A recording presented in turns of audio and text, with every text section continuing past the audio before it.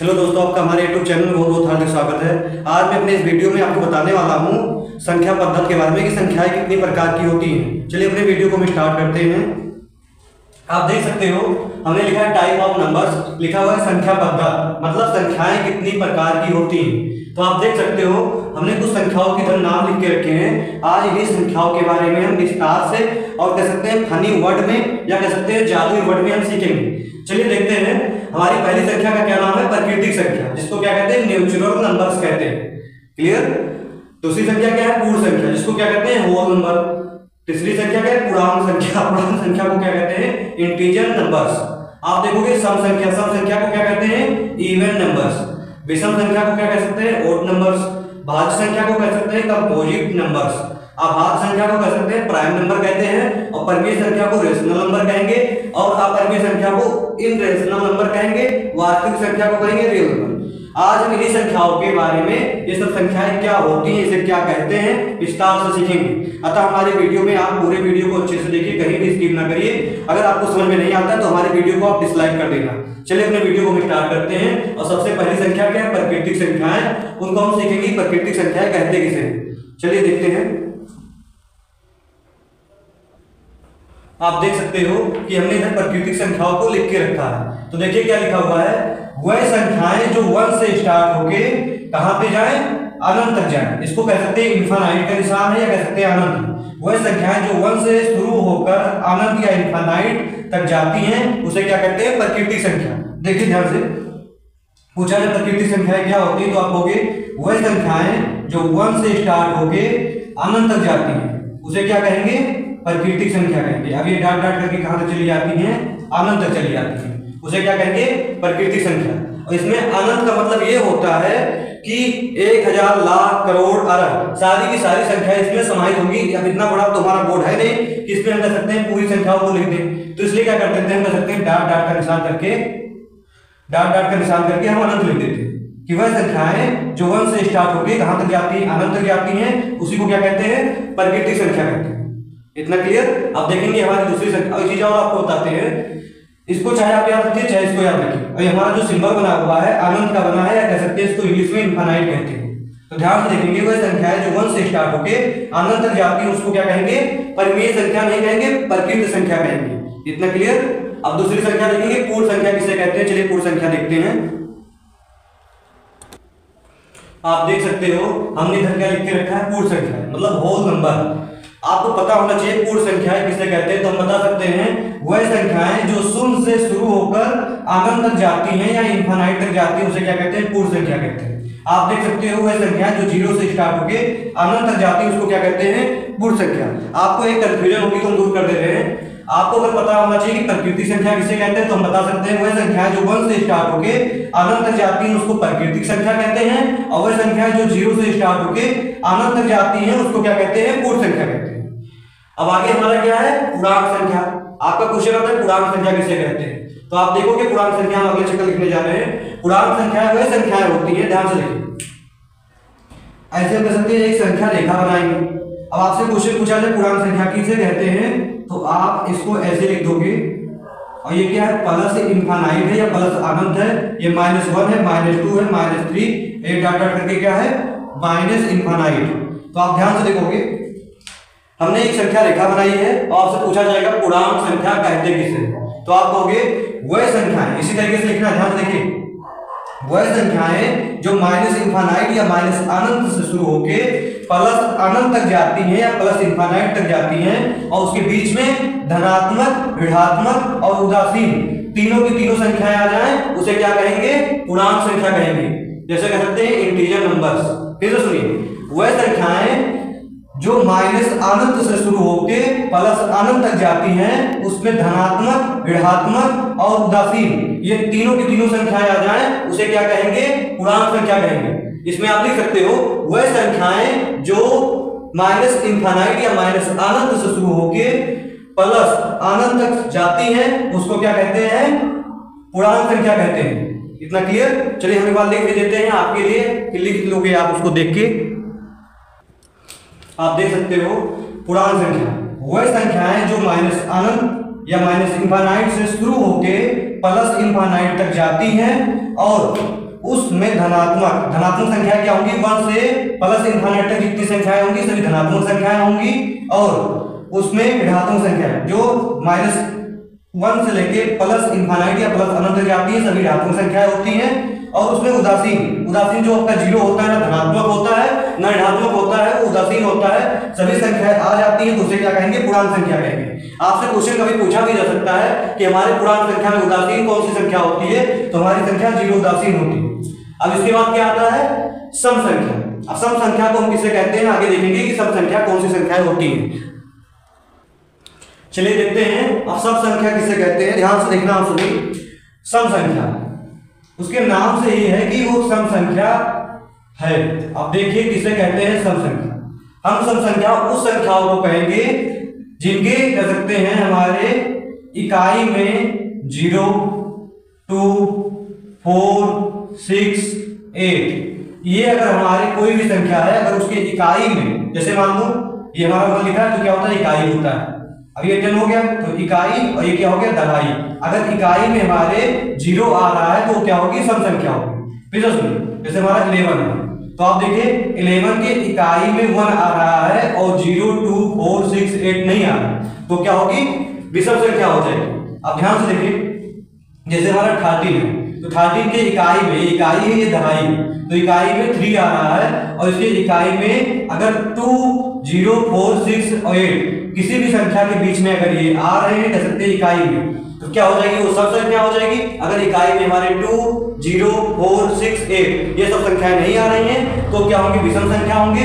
अगर किसी भी संख्या के आखिरी में मतलब इकाई में टू ज़ीरो, सिक्स, एट, ये सब संख्याएँ आएँगी तो क्या हो जाएगी? सम। जैसे आपका zero two four six eight ten twelve fourteen ऐसे अनंत तक संख्याएँ हैं, जिसके इकाई में टू फोर सिक्स एट ये सभी अगर आते हैं तो क्या हो जाएँगी? सब संख्याएँ होंगी। अगर ये सब नहीं आते हैं उसकी इकाई में तो क्या हो जाएगी? विषम संख्या। अब देखिए क्या होगा। विषम संख्या किसे कहते हैं? तो चलिए उसको भी जान लेते हैं। एकदम अगर आप सब संख्या जान लें तो विषम संख्या को भी जान सकते हो।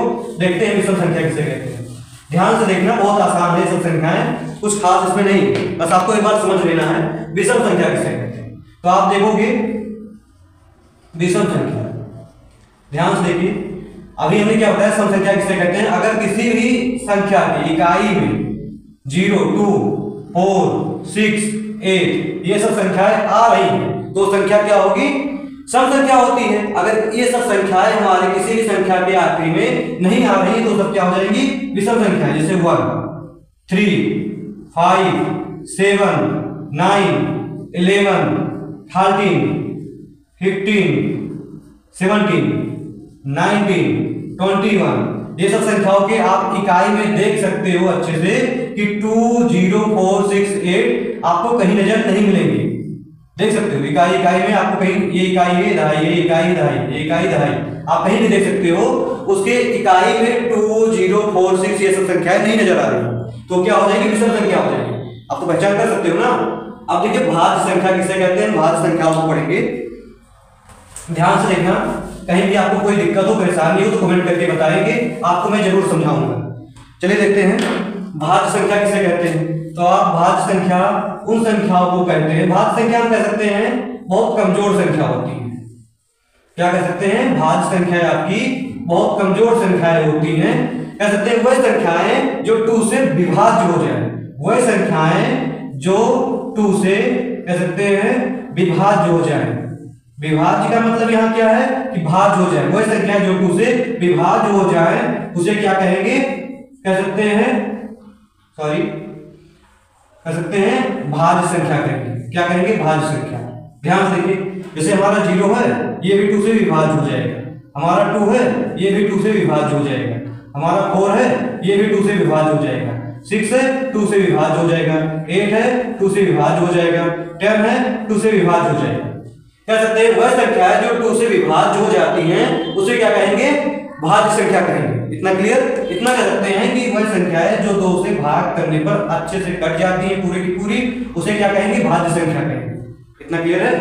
आप देख सकते हो, वह संख्या जिनसे हम बता देते हैं, वह संख्याएँ जो दो से भाग करने पर पूरी पूरी अगर कट जाती हैं तो उसे भाज्य संख्या कहेंगे। अब देखते हैं इसके बाद कौन सी संख्या आती है अभाज्य संख्या प्राइम नंबर बहुत अच्छे से देखना, आपकी प्राइम नंबर जो होती है, कह सकते हैं, या विषम कह सकते क्या नाम है इसका?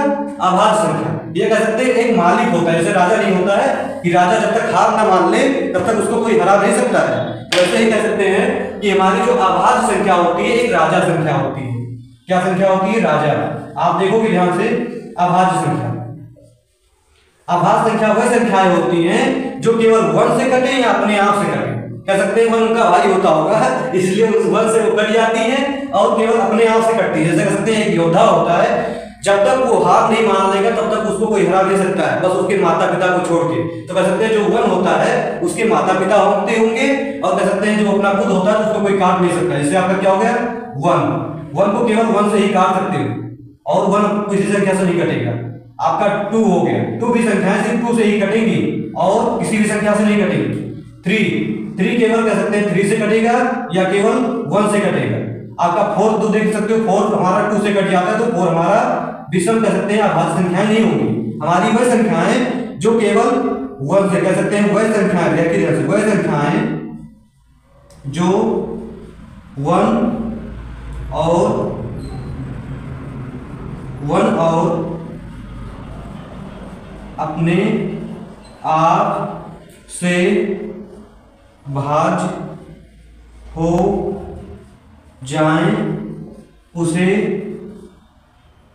क्या कहेंगे? आभाज संख्या कहेंगे? क्लियर वह संख्याएँ जो वन या अपने आप से विभाज्य होती है, उसे क्या कहेंगे? आभाज्य संख्या कहेंगे? जैसे आप देख सकते हो, one, two, three, five, seven आपका फिर आएगा eleven thirteen seventeen nineteen twenty three twenty nine thirty one thirty seven forty one forty three forty seven ये सब संख्याएँ ऐसे अनंत तक आती जाएँगी। वह संख्याएँ ये जब तक अपने आप को काट नहीं सकती, कह सकते जब तक हार नहीं मानेंगी, तब तक कोई दूसरी संख्या को काट नहीं सकती। तो वह संख्याएँ जो वन से कट जाए या केवल अपने आप से कट जाए तो उसे क्या कहेंगे?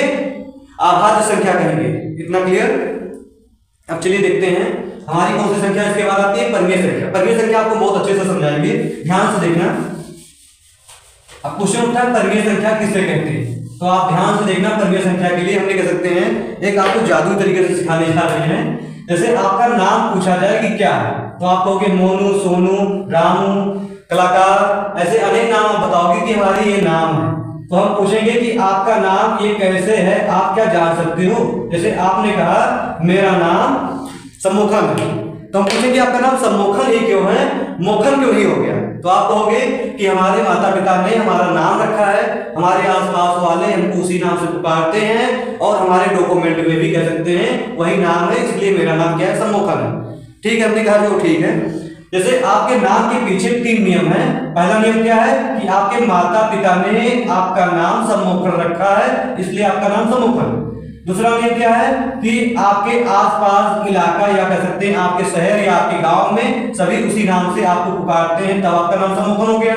तीसरा क्या है? कि आपके डॉक्यूमेंट, आधार कार्ड में सम्मोखन नाम है, इसलिए आपका नाम सरकारी तौर पे भी क्या है सम्मुखन इसलिए सभी लोग आपको क्या कहते हैं सम्मुखन वैसे ही हमारे परिमेय संख्या में भी कह सकते हैं, हमारे परिमेय संख्या होने के तीन नियम बताए जाते हैं। अब ये तीन नियम कौन से हैं? जैसे आपके माता पिता ने नाम रखा है कि आपका नाम क्या है सम्मोखन है वैसे हमारी परिमेय संख्या को भी हम कहते हैं कि वह संख्याएँ जो अंश और हर के में लिखी हूँ। क्या हूँ?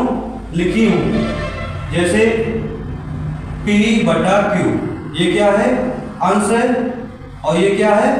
हर जैसे आपके माता पिता ने आपका नाम सम्मुखन रखा, वैसे मैं अपने परिमेय संख्या का क्या नाम रख रहा हूँ? वह संख्या जो अंश और हर के रूप में लिखी होती है, जैसे पी बटा क्यू ये क्या है हमारा? जैसे वन अपान क्या है? टू ये हमारी क्या है? पी बटा क्यू और भिन्न के रूप में एक अंश और ये हर के रूप में लिखी गई लिखी आपने क्या कहा कि मेरा नाम हमारे गाँव वाले भी रखे हैं, हमारे आसपास वाले उसी नाम से पुकार रहे हैं, इसलिए हमारी नाम भी सम्मुखन हो गया। तो हम करें हमारा भी जो हमारा परमेय संख्या है, वो क्या है कि पी बटा जो क्यू लिखे हुए हैं, या कह सकते हैं अंश, और हर लिखे हुए हैं, वो क्या है? पुराण संख्या है। क्या है? पुराण संख्या अगर आपके जो अंश और हर है पुराण संख्या है तो क्या हो जाएगी वो? परिमेय संख्या हो जाएगी? अभी नहीं, जैसे आपके नाम के पीछे अभी देखो, सरकारी मोहर नहीं लगा कह सकते हैं आपके आधार कार्ड में जब तक आधार कार्ड से प्रूफ नहीं हो जाता, तब तक आपका नाम सम्मुखन नहीं होगा। वैसे हम भी कहते हैं कि अगर हमारा तीसरा जो नियम है, जब तक हमारा अगर पी बटा क्यू के रूप या भिन्न के रूप में, अंश के रूप में लिखा है, हमारे क्यू का मान अगर कभी ज़ीरो हो जा रहा है हमारे क्यू का मान? यहाँ पे मान लो ज़ीरो हो रहा है वन मान क्या हो रहा है? ज़ीरो।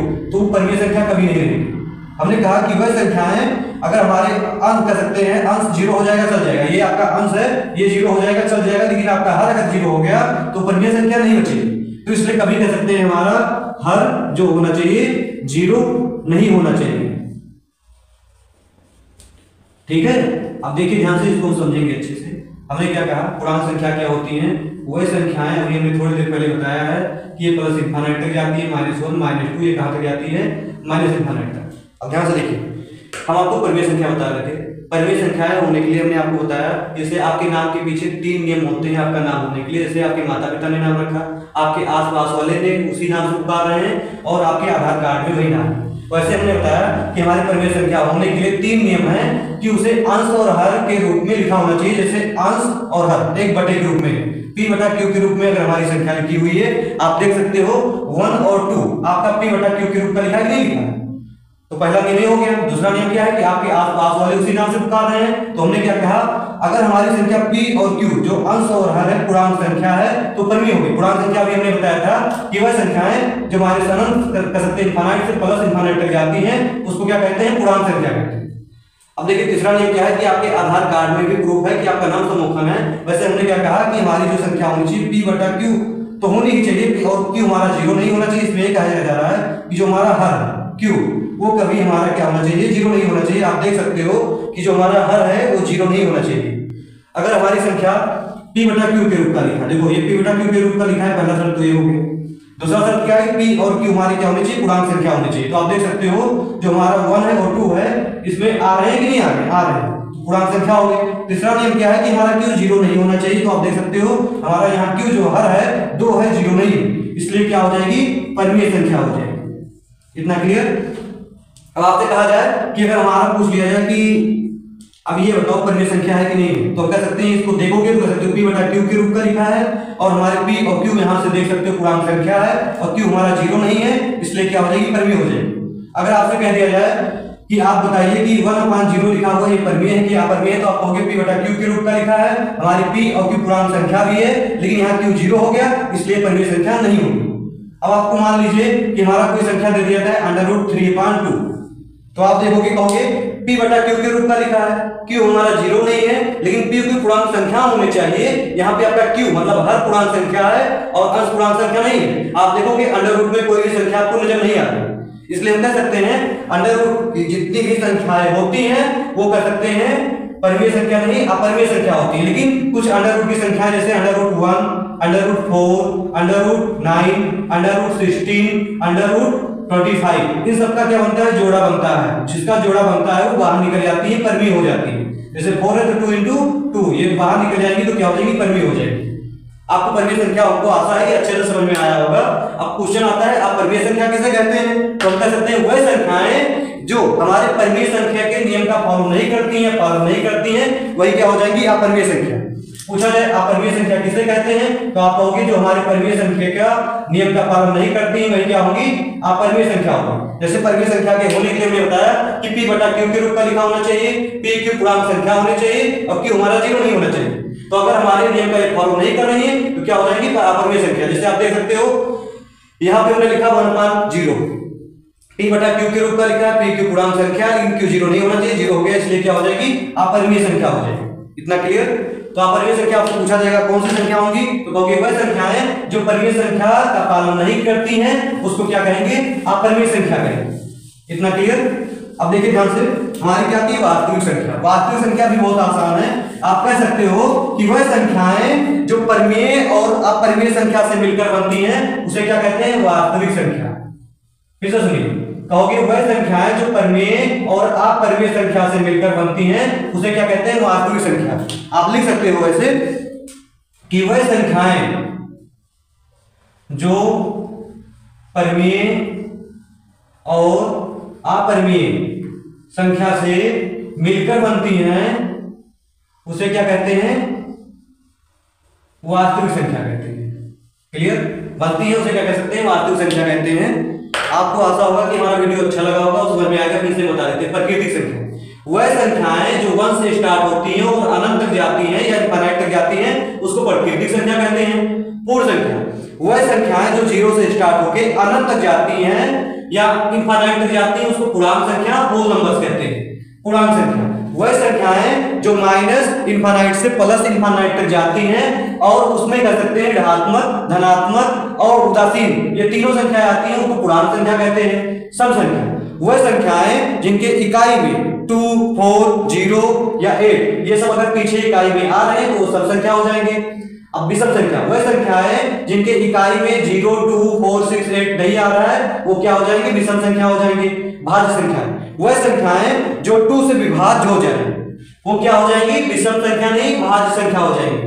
फिर अभाज्य संख्या अभाज्य संख्या हमने बताया कि एक मालिक संख्या होती है, उसको कोई हरा नहीं सकता जब तक हारती नहीं तो कह सकते हैं एक सेना होती है, जब तक वो हार नहीं मानेगी, तब तक तो उसको कोई हरा नहीं सकता। तो कह सकते हैं अभाज्य संख्याएँ, वह संख्याएँ जो वन से और अपने आप से कट जाए, उसे क्या कहेंगे? अभाज्य संख्या कहेंगे। अब आती है परमेय संख्या। परमेय संख्या में हमने बताया वह संख्याएँ जिसको आप p बटा q, अंश और हर के रूप में लिख लेते हो, और हमारी p और q, अंश और हर क्या होनी चाहिए, पूर्णांक संख्या होनी चाहिए, और q आपका हर कभी ज़ीरो नहीं होना चाहिए तो क्या हो जाएगी? परमेय संख्या हो जाएगी। अब आती है अपरमेय संख्या। तो हमने क्या बताया कि वह संख्या जो परमेय संख्या का नियम का पालन नहीं करती है, उसे क्या कहते हैं? अपरमेय संख्या कहते हैं। अब वास्तविक संख्या आता है। हमने आपको क्या बताया? वह संख्याएँ जो परमेय और अपरमेय से मिलकर बनती हैं, उसे क्या कहते हैं? वास्तविक संख्या कहते हैं। चलिए आज तक अपने वीडियो को यही रखते हैं। आपको अगर क्लास नाइन्थ में पढ़ना है, आपको कॉम्पिटिशन एग्ज़ाम देना है, या कह सकते हैं क्लास टेंथ में पढ़ना है इलेवंथ में पढ़ना है ट्वेल्थ तो आपकी क्लास नाइन्थ का पहला लेसन का नाम है संख्या पद्धत टेंथ में आपके पहले लेसन का नाम है वास्तविक संख्या। इलेवन में समुचे है, फिर आपका ट्वेल्थ में कह सकते हैं संबंध और फलन है। सभी में ये सब कह सकते हैं संख्या पद्धत के बारे में आपको ज़रूर काम लगेगा, और आप किसी भी कंपटीशन का एग्ज़ाम दे रहे हो तो संख्या पद्धत ज़रूर से पूछे पूछे जाएँगे। आप इसको अच्छे से पढ़ना। अगर कहीं भी आपको कोई दिक्कत हो या समस्या हो तो कमेंट करके बताइए, मैं अपने वीडियो को सुधार के फिर से बनाऊँगा। जय हिंद, जय भारत।